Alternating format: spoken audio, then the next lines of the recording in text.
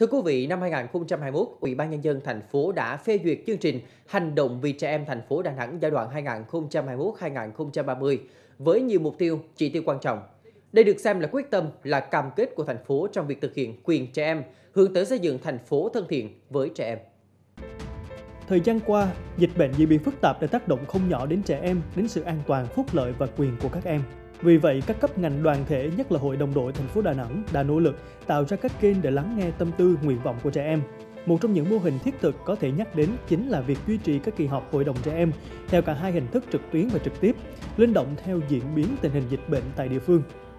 Em cảm thấy rất vui và hạnh phúc khi ờ, trong tình hình dịch bệnh như thế này, nhưng thành phố vẫn luôn cố gắng để có những sự quan tâm giúp đỡ cho trẻ em và đã tổ chức ờ, 5 kỳ họp mà trẻ em thành phố thường niên để có thể lấy những ý kiến đóng góp ờ, về dự án xây dựng thành phố Đà Nẵng làm mạnh, thân thiện với trẻ em. Và em hy vọng trong năm mới này thì các cô chú lãnh đạo sẽ tiếp tục có những sự quan tâm sâu sát hơn đối với trẻ em về các vấn đề sức khỏe cũng như là sức khỏe tâm thần và những sự phát triển ờ, về thúc đẩy nhiều hơn ờ, bốn nhóm quyền trong ờ, luật trẻ em 2016.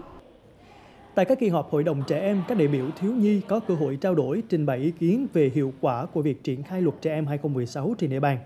Những vấn đề khó khăn mà các em và các bạn đồng trang lứa đang gặp phải, qua đó phát huy quyền tham gia của trẻ như một nhân tố tích cực trong quá trình cải thiện các điều kiện sống và phát triển của trẻ em. Em mong muốn rằng là các cô chú lãnh đạo, các anh chị các cấp chúng ta sẽ dành nhiều những cái sự quan tâm hơn đến cho trẻ em thiếu nhi, tiếp thu những cái ý kiến cũng như là những cái đóng góp để giúp xây dựng một thành phố Đà Nẵng thân thiện, à, lành mạnh với trẻ em ạ. Hướng đến mục tiêu xây dựng thành phố Đà Nẵng an toàn, thân thiện với trẻ em và chương trình hành động vì trẻ em thành phố Đà Nẵng giai đoạn